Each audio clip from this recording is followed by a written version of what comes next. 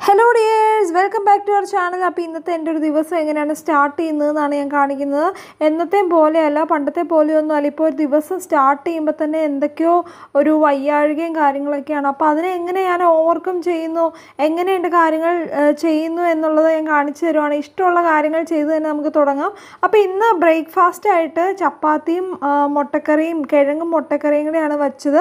അപ്പോൾ അതിൽ നിന്ന് നമുക്ക് കുറച്ച് കിഴങ്ങും അതുപോലെ തന്നെ തേങ്ങാപ്പാൽ കഴിഞ്ഞപ്പോൾ തേങ്ങാപ്പാലും കിട്ടി. അത് രണ്ടും കൂടെ കൂട്ടി പിന്നെ കുറച്ച് കസ്തൂരി മഞ്ഞളും യൂസ് ചെയ്ത് നമ്മളൊരു ഫേസ് പാക്ക് ഉണ്ടാക്കി. അപ്പോൾ അത് ഇട്ടുകൊണ്ട് തന്നെയാവാം ഇന്നത്തെ പണികൾ. അയ്യോ ഇപ്പം ഇത് ഇതിപ്പോൾ നിങ്ങൾ കാണുന്നത് ഇത്രയും ചെയ്തപ്പോൾ തന്നെ ഞാൻ മടുത്തു പോയി. ഞാൻ അവിടെ കസേര റിലാക്സ് ചെയ്തിരിക്കുന്നതാണ് കാണുന്നത്.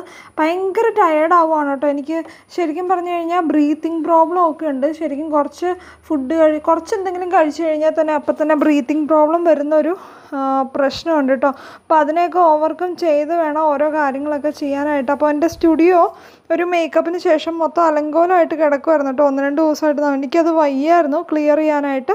നമ്മുടെ ഒരു വർക്ക് സ്പേസ് കുളമായി കിടന്നാൽ തന്നെ നമുക്കൊന്നും ചെയ്യാൻ തോന്നില്ല കേട്ടോ അപ്പോൾ അതെങ്ങനെയെങ്കിലും അത് ആദ്യം ഒന്ന് നേരെയാക്കണം ഇതൊന്നും അല്ല കേട്ടോ സാധാരണ ഇതിനും കൂടുതൽ മെസ്സാവുന്നതാണ് ഇത് കുറച്ചാണ് മെസ്സായിട്ടുള്ളത് അതുകൊണ്ട് നമുക്ക് ക്ലിയർ ചെയ്യാൻ എളുപ്പമുണ്ട്.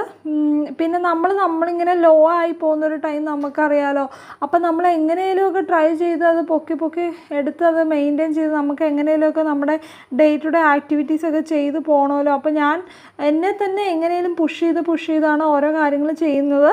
അപ്പോൾ നമ്മളിങ്ങനെ ഫേസ് പാക്ക് ഒക്കെ ഇട്ടുകൊണ്ട് നമ്മുടെ ജോലിയൊക്കെ ചെയ്യുകയാണെങ്കിൽ ആ ഫേസ് പാക്ക് അവിടെ ഇരുന്ന് ഉണങ്ങിക്കോളുകയും ചെയ്യും. നമ്മുടെ പണികളും നടക്കും. അതോടൊപ്പം ഒരു പാട്ടും കൂടെ കേട്ടാൽ ആഹാ. അല്ലെങ്കിൽ ഇങ്ങനത്തെ പണികളൊക്കെ ചെയ്യാൻ എന്നാലും ഒരു രസമുള്ളത്? ഇങ്ങനെ അടുക്കിപ്പറക്കലും പരിപാടികളൊക്കെ എനിക്ക് ഇഷ്ടമാണ്. പക്ഷെ തന്നെ ഒന്നും നിന്ന് ചെയ്യാൻ പറ്റില്ല കേട്ടോ. നേരത്തേക്കെന്ന് പറഞ്ഞാൽ കിച്ചാമണി എന്റെ കൂടെ നിഴൽ പോലെ ഇങ്ങനെ ഉണ്ടായിരുന്നു. സ്റ്റുഡിയോയിലൊക്കെ കയറുമ്പോൾ പ്രത്യേകിച്ച് അവൾ എപ്പോഴും എന്റെ കൂടെ ഉണ്ടായിരുന്നു. അതുകൊണ്ട് സ്റ്റുഡിയോയിൽ കയറുമ്പോൾ എനിക്ക് അവളെ വല്ലാണ്ട് മിസ് ചെയ്യും കേട്ടോ.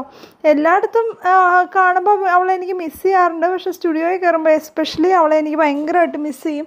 അവളുണ്ടെങ്കിൽ എന്റെ കൂടെ എല്ലാത്തിനും അവൾ കൂടുമായിരുന്നു. കൂടുമായിരുന്നു എന്നുള്ളത് കൊണ്ടല്ല മിസ് ചെയ്യുന്നത്. അവളുടെ പ്രസൻസും കാര്യങ്ങളൊക്കെ അത്രയും നാൾ ഞങ്ങൾ ഇങ്ങനെ കല്യാണത്തിന് ശേഷമൊക്കെ ഞങ്ങൾ ഒരുമിച്ച് നിന്ന ഒരു ടൈം വളരെ കുറവാണ് കേട്ടോ പിന്നെ അങ്ങനെ അങ്ങനെ. ഞാനിങ്ങനെ ഓർക്കും എനിക്ക് അവളെ വല്ലാണ്ട് മിസ് ചെയ്യുന്നുണ്ട്. അത് അതിനെപ്പറ്റി ഇപ്പോൾ പറയാണ്ടിരിക്കുന്നതായിരിക്കും നല്ലത്. അപ്പോൾ എനിവേ നമുക്ക് നമ്മുടെ ജോലികൾ ചെയ്യാം.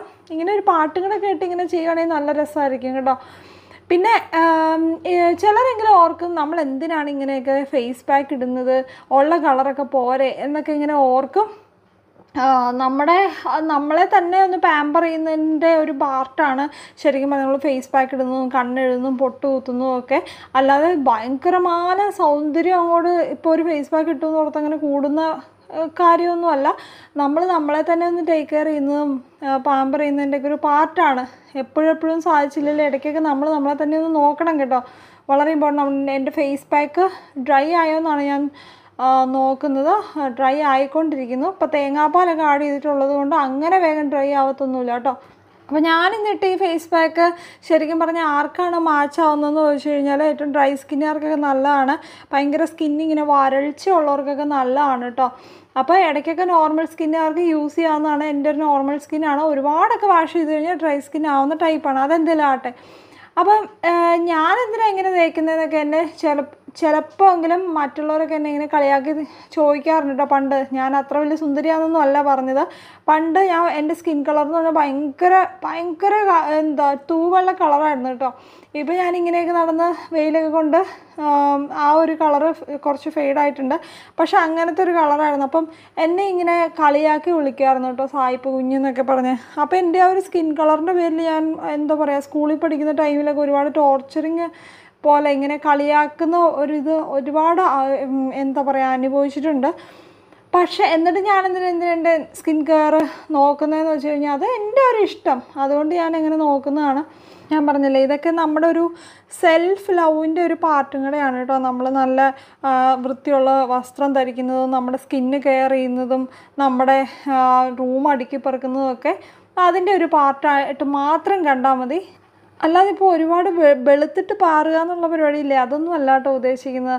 നമ്മൾ നമ്മളെന്തായിരിക്കുന്നു? ആ ഒരു അവസ്ഥയെ ആ ഒരു സ്കിൻ കളർ അല്ലെങ്കിൽ നമ്മുടെ മുടി നമ്മുടെ ഹൈറ്റ് എല്ലാത്തിനും നമ്മൾ സ്നേഹിക്കണം. എന്നാൽ മാത്രമേ നമുക്ക് കോൺഫിഡന്റ് ആയിട്ട് കോൺഫിഡൻസോടുകൂടി മുന്നോട്ട് പോകാൻ പറ്റുള്ളൂ കേട്ടോ. അപ്പോൾ എന്റെ പൊക്കത്തിന്റെ പേരിലും നിറത്തിന്റെ പേരിലും എന്റെ തലമുടി ഞാൻ കുഞ്ഞായിരുന്നപ്പോഴൊക്കെ എന്റെ തലമുടി ശരിക്കും പഞ്ഞി പോലെയായിരുന്നു കേട്ടോ ഇരുന്നത്. എന്ന് വെച്ചാൽ ഒരു ചെമ്പിച്ചൊരു ആരോഗ്യമില്ലാത്ത അങ്ങനത്തെ ഒരു മുടിയായിരുന്നു. അപ്പോൾ ഇതിന്റെയൊക്കെ പേരിൽ ഒരുപാട് കളിയാക്കലുകൾ കേട്ടിട്ടുണ്ട് കേട്ടോ അപ്പോൾ നമ്മൾ അതൊക്കെ ഓർത്തുകൊണ്ടിരുന്ന് നമ്മൾ അതിൽ സ്റ്റക്കായി പോവേ.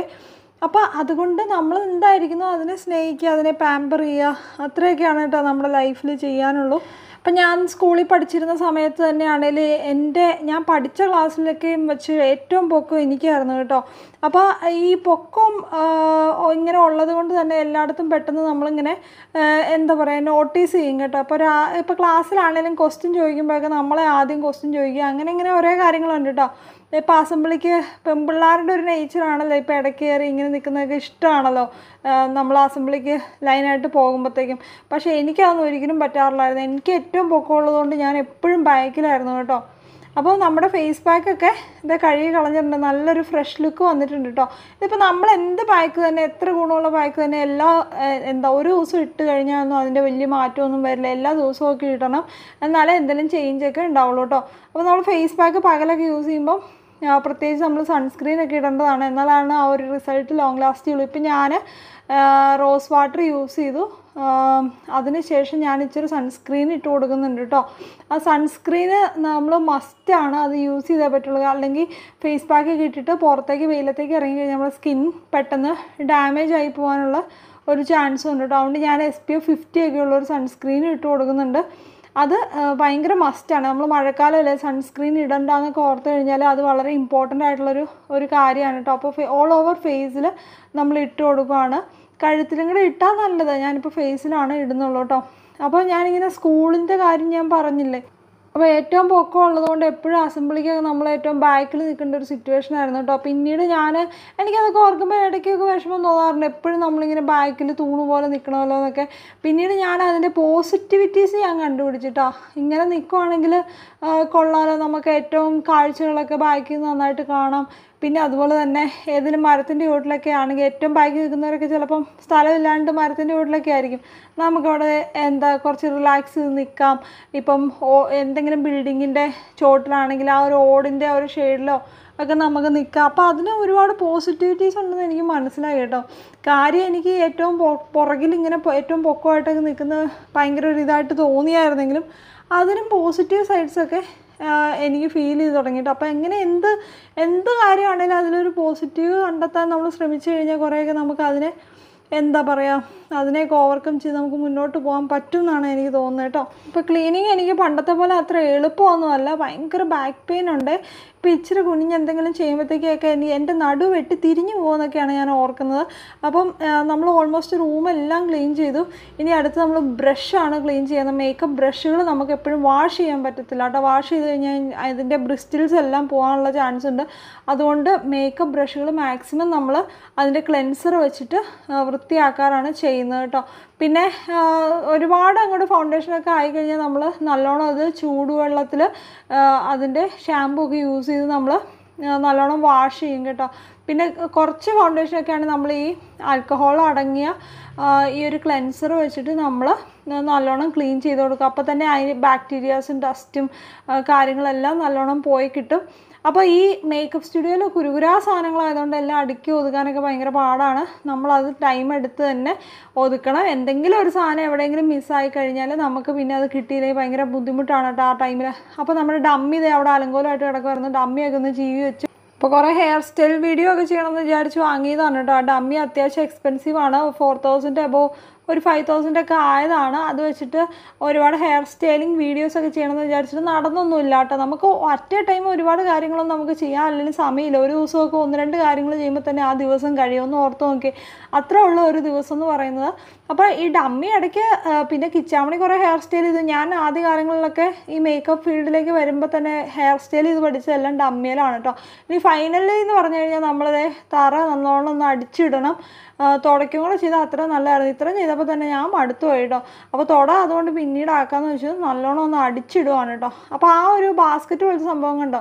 അതെനിക്ക് ഉപയോഗവും ഇല്ല. എന്നാൽ കളയാനും പറ്റില്ലാത്ത കുറേ സാധനങ്ങളുണ്ട് സ്റ്റുഡിയോയിൽ അതെല്ലാം കൂടെ ഇട്ട് വെച്ചേക്കുന്നത് അതിനകത്താണ് കേട്ടോ ക്ലീനിങ് നല്ല രസമുള്ള പണിയാണ് കേട്ടോ നമുക്ക് വേറെ പരിപാടികളൊന്നുമില്ലെങ്കിൽ നമുക്കിങ്ങനെ ക്ലീൻ ചെയ്തെല്ലാം അടുക്കി പെറുക്കി നല്ല ടൈം എടുത്ത് തൂത്ത് തുടച്ചൊക്കെ ഇരിക്കാൻ എനിക്ക് ഭയങ്കര ഇഷ്ടമുള്ള പരിപാടിയാണ് കേട്ടോ. പക്ഷേ പെട്ടെന്ന് നമ്മുടെ സ്റ്റുഡിയോ ക്ലീൻ ചെയ്യണം. ഒരു വർക്ക് കഴിഞ്ഞു അത് കഴിഞ്ഞ് സ്റ്റുഡിയോ ക്ലീൻ ചെയ്ത് അടുത്ത് അങ്ങനെ ചെയ്യുമ്പോഴത്തേക്കും നമുക്ക് പിന്നെ പെട്ടെന്ന് പെട്ടെന്ന് നമ്മൾ പെട്ടെന്ന് ക്ലീനിങ് ചെയ്ത് തീർക്കേണ്ടി വരും. എനിക്ക് ക്ലീനിങ് എപ്പോഴും ഇച്ചിരി സമയമെടുത്ത് ചെയ്യുന്നത് തന്നെയായിരുന്നു കേട്ടോ ഇഷ്ടം. അപ്പോൾ നമ്മളിങ്ങനെ വർത്താനമൊക്കെ പറഞ്ഞ് ക്ലീൻ ചെയ്ത് സമയം പോയതേ അറിഞ്ഞില്ല കേട്ടോ. അപ്പം സ്റ്റുഡിയോയിലെ ക്ലീനിങ് ഓൾമോസ്റ്റ് കഴിഞ്ഞു. ഇനിയുണ്ട് കുറേ പണി പുറത്തുണ്ട് കേട്ടോ. അപ്പോൾ എല്ലാം കൂടെ ഒറ്റയടിക്ക് ചെയ്യാൻ പോയി കഴിഞ്ഞാൽ നമ്മൾ മടുത്തു പോവും. അപ്പോൾ അങ്ങനെ അങ്ങനെ. പിന്നെ എന്താ അതേ ഒരു ബ്ലൗസ് കിടക്കുന്നത് കണ്ടോ? നല്ല രസമാണ് ആ ഒരു ബ്ലൗസ് കാണാനായിട്ട്. അതൊരു ഞാൻ ഷൂട്ടിന് വേണ്ടിയിട്ടൊക്കെ മേടിച്ചതാണ് കേട്ടോ. കിച്ചാവണി വെച്ച് നമ്മൾ റെഡ് തീം ചെയ്തില്ലേ ആ ഒരു ഷൂട്ടിന് വേണ്ടിയിട്ടൊക്കെ മേടിച്ചായിരുന്നു. പക്ഷേ അത് പിന്നെ യൂസ് ചെയ്യാൻ യൂസ് ചെയ്യേണ്ട സാഹചര്യം ഉണ്ടായില്ല യൂസ് ചെയ്യാൻ പറ്റിയില്ല. പിന്നെ എനിക്കാണെങ്കിലും ഇപ്പോൾ അത് ചേർത്തില്ല കേട്ടോ. ഞാൻ വണ്ണം വെച്ചു. പക്ഷെ നല്ല രസമില്ലേ ഇത് കാണാനായിട്ട്.